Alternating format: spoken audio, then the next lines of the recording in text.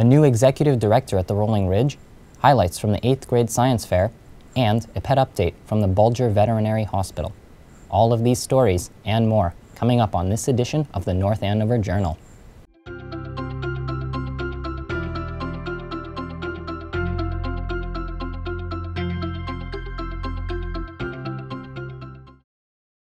Hello, and welcome to this edition of the North Andover Journal. I'm guest host Yefim Schneiderman.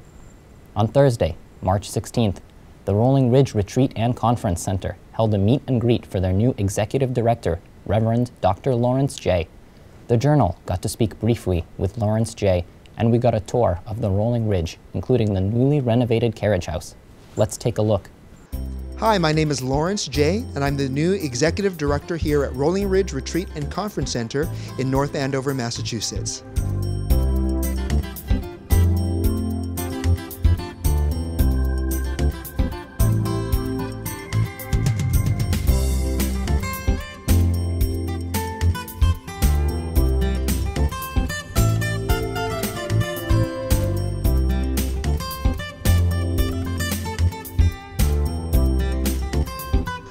Been here at Rolling Ridge for about two months, actually exactly two months today, um, March 15th. I started January 15th, and I come all the way from California, the San Francisco area.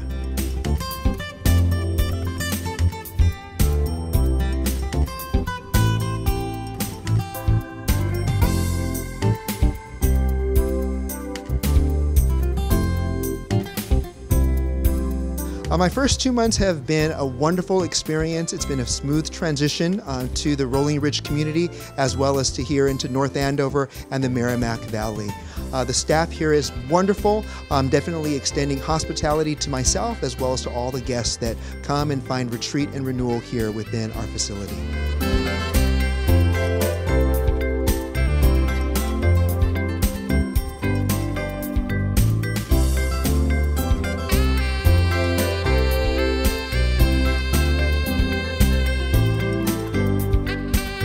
Um, in California, I worked at R Redwood Glen, another camp and conference center over in uh, Loma Mar, California, which is in the Santa Cruz area. And prior to that, I was a pastor in the San Francisco, uh, California area.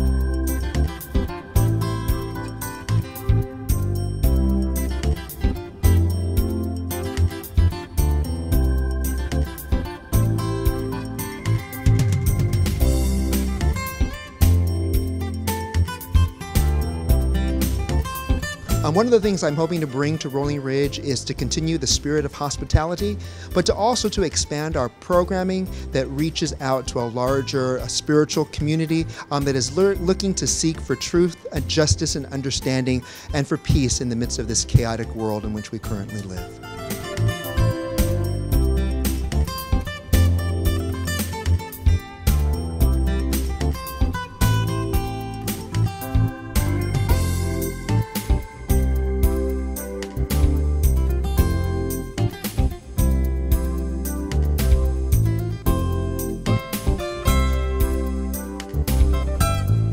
With the political chaos that is going on, one of the things that Rolling Ridge is going to be focusing on this summer is our seventh annual Peace Conference. July 22nd and 23rd, we're going to be looking at what it means to speak out and listen deep and find spiritual grounding for political action. We've got Dr. Robert Jonas, who's going to be our main keynote speaker, along with workshops and other interfaith peace activities that will be organized here at Rolling Ridge. So, for more information, check us out at rollingridge.org, rollingridge.org for more information on our seventh annual Peace Conference. Thanks. The Rolling Ridge is just one example of the rich and beautiful history of this town. If you'd like to see more of the Rolling Ridge, you can head over to their website at www.rollingridge.org.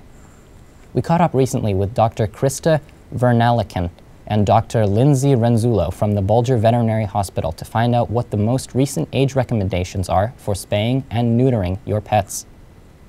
Hi, welcome back to the Pet Health segment. I'm Dr. Lindsay Renzulo. I'm Dr. Krista Vernaliken. And we're glad to have you back. Um, last time we left you off, we said that we were going to discuss spaying and neutering your pet. But we do realize this is actually a very large, involved topic that's very controversial right now. So we thought this was a good time to let you know that we will be launching a longer show for you called the Podcast. Um, We're very excited. in coming months, and so we'll be able to delve into these topics with greater detail.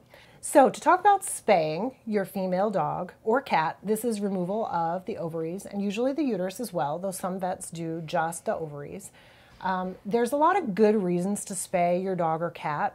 Um, just to get the cat issue over with real quickly, you do not want to live with a female unspayed cat. Uh, they do repeatedly go into heat cycles and are pretty unbearable to live with. So um, there's not much of a debate about, from a behavioral standpoint, that you, you need to spay your cat. Um, from a dog standpoint, um, the nuisance issues do arise where they're having these heat cycles about every six months, and that can be messy and uh, It can be long, anywhere from one to six weeks. That sometimes you can actually see bleeding, so Mm-hmm. it can definitely be something that is a hygiene issue as well. Mm-hmm. And so, from a medical perspective, there are very good reasons to spay your dog. Um, biggest being prevention of breast cancer. We know for certain that breast cancer is um, much less common in dogs that were spayed, typically before their first heat, but certainly before the first couple of heats is protective. Um, it also prevents uterine infections and uterine cancers. Um, and behaviorally, sometimes they can be just a little bit more even keeled and reasonable to live with. What are the negatives about spaying? There are some negatives of spaying. A lot of the times we're talking about timing in which you spay, and you could be dealing with growth plate issues. And so um, there are some recent studies out there to possibly suggest that um, patients that are spayed um, might be more prone to developing um, different types of joint issues, cruciate ligament issues, things like that. Um, weight gain is a big one uh, for a spayed female dog. They tend to gain more weight than an unspayed female dog. Um, and there is some evidence or some reported studies to show that certain cancers might be more um, prevalent in an unspayed, in a spayed female dog than a spayed female dog. Um, things like uh, lymphoma, hemangiosarcoma, mast cell tumors, things like that. Um, but again, as far as the significance and the importance of of spaying versus not spaying, we are still very much a pro spay um, hospital. And one issue that that we talked about too is the urinary incontinence. That Oh, there's yes. a definite, um, there is a proven link between urinary incontinence in females and spaying, typically before the age of four months. So that's kind of the cutoff that has been shown in studies. And again, there aren't really great studies in veterinary medicine for this. So a lot of these things, you take a very small number of animals and try to extrapolate it out to everybody, and it's a little bit difficult. Yeah. Um, so then, neutering. What are the reasons, the pros for neutering? So again, if we sort of sort of separate our cats and our dogs, uh, as far as cats go, there really is no negative sequela of neutering your cat. Um, an intact male cat, they're very uh, odiferous, um, and uh, they have behavioral issues. They're constantly wanting to roam and spray within the house. So uh, neuter your male cat, and there's really no questions. Um, as far as male dogs go, uh, neutering male dogs, there are obvious benefits to it. Um, a lot of there's some behavioral benefits to it as well as the removal of the testicles. So testicular cancer is obviously eliminated at that point um, and some uh, some other you know issues as far as um, uh, behaviors and stuff are concerned um, what are some negative sequelas of neutering your male dog I mean, anytime we're talking about anesthesia, there's always a small risk, and we didn't mention that for spays as well, that that might be a negative. Um, for neutering males, if you neuter them too young, they don't necessarily complete their growth as a normal male with normal hormo- hormonal influences. So they may have longer limbs, and they also may be more prone to different joint abnormalities. Again, some different studies showing different prevalences of, of cancers, not significant, not hugely significant, but there's those concerns. Um, and one, you know, prostate cancer has been shown to be a little bit more common in neutered males versus intact males, so that's certainly a concern. But Um, on the other flip side, uh, for an intact male, they're more likely of getting infections of their prostate Mm-hmm. and having more BPH issues or like benign prostatic hyperplasia issues, so urinary issues as they can get older too as well. Right. So um, behaviorally, and for a lot of nu- a lot of those reasons, a recommendation for males and females is to choose your neuter and spay date based upon how close they are to maturity. So for a male, in small breeds, a lot of the time, six months is perfectly appropriate. They're pretty mature at that age, they're fully grown. For a giant breed dog, we might be recommending waiting until two years of age until they really have reached their adult stature. And with females, we say still before their first heat, but hopefully maybe closer to their first heat, and it's not necessarily horrendous if they do go through a first heat and you spay them after that. However, we will get into some more of the specifics with our show, um, talking about different breeds and sizes of dogs, and give you a little bit more information during that, that segment. So, we're saying goodbye from Bulger Veterinary Hospital. And we cannot wait to see you on our new show, The Podcast, which will be airing in a few months.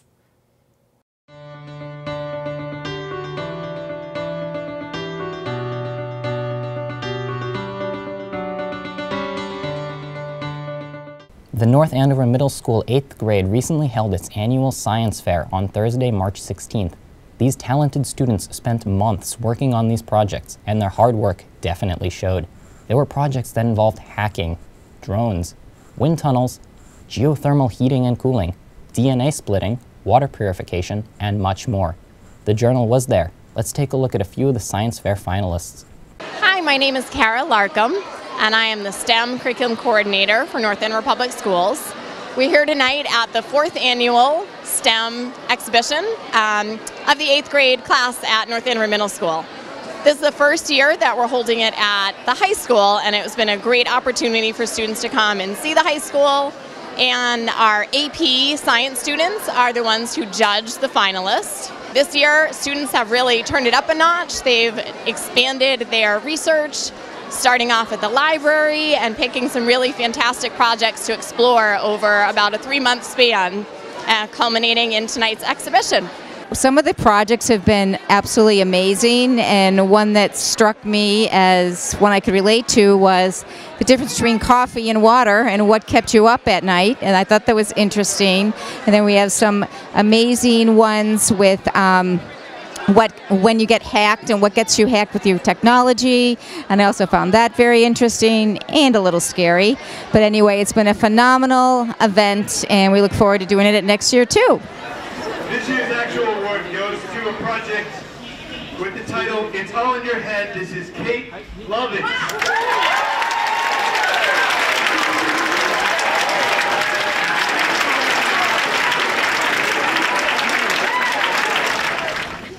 The name of the project is Oil Spills. Isabel During and Fernalia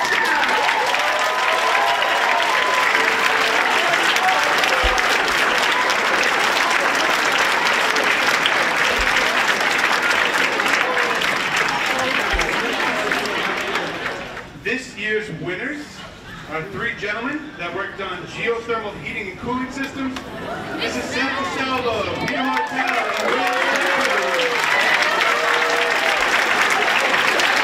Come on down.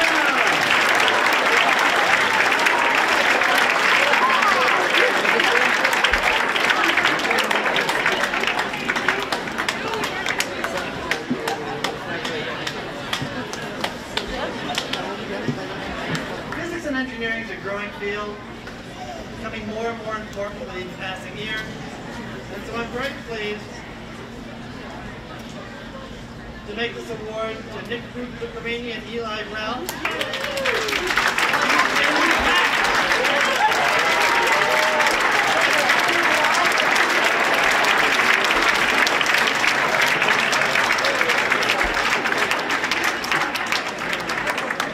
The overall winner in biology this year, the effects of UV light on bacteria, Nicole Fisher and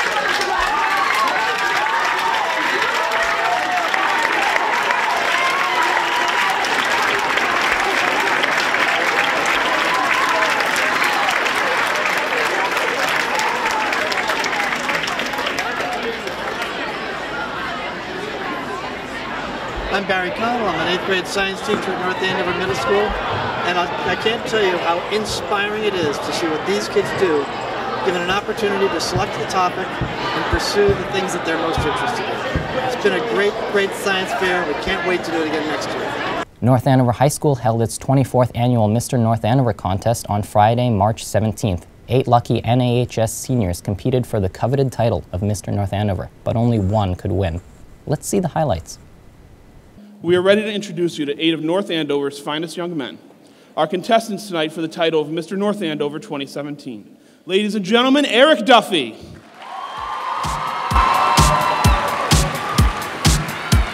I would like to introduce you to contestant number two, Michael Hickerson. Please welcome Robert Smith.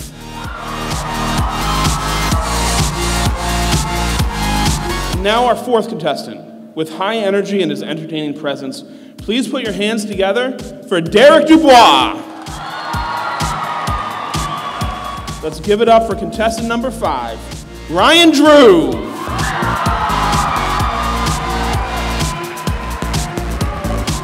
Please welcome our sixth contestant, Tyler Thomas. Please welcome the cool, the calm, the collected, Adit Barwa.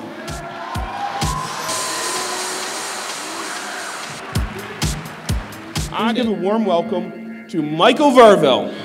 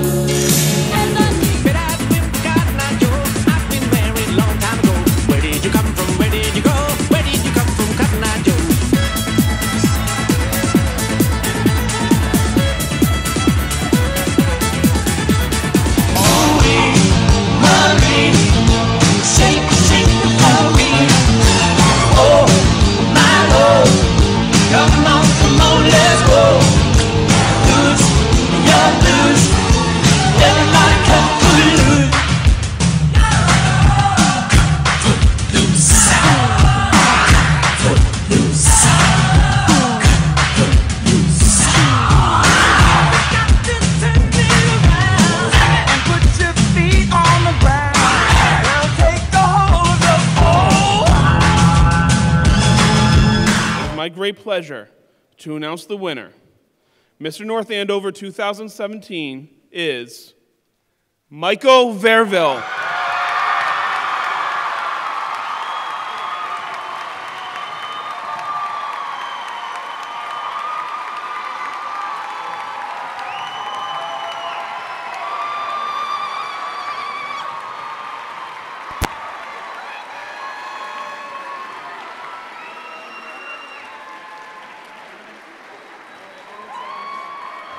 Thanks to the volunteers who joined me on Friday to film Mr. North Andover, including my brother, Joseph Schneiderman, Frank and Kevin Zhao, and Sean Reardon.